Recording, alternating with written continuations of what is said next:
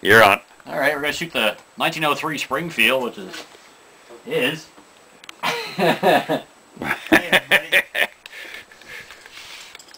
So it's uh, what, 1920, you said? Springfield, and it's got a a uh, 1942 barrel on it yeah, from July. We got some uh, South Korean surplus ammo. Hmm.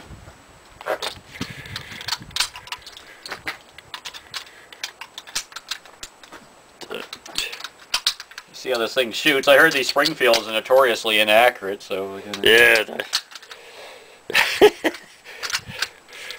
you hear that on the Wild Network all the time. That's right. Not like the P-17s, you know.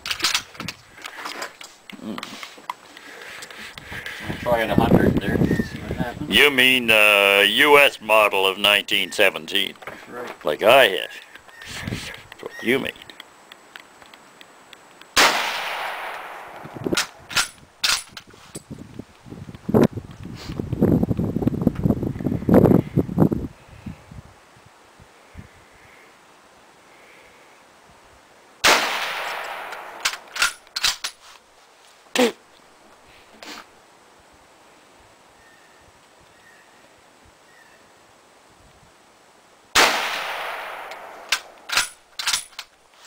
The ammo smells like cat shit or something. Yeah, you gotta say it.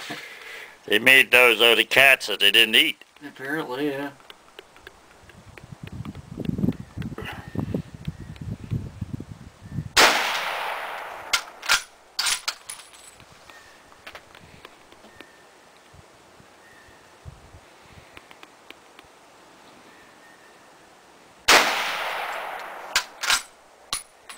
That's five, I guess. Okay, done?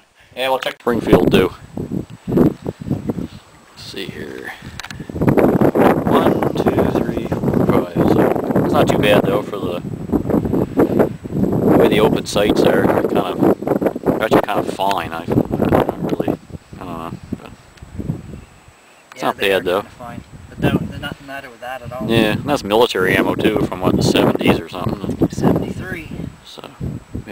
Loaded for that thing because because the barrel is very nice on it. But so, anyway.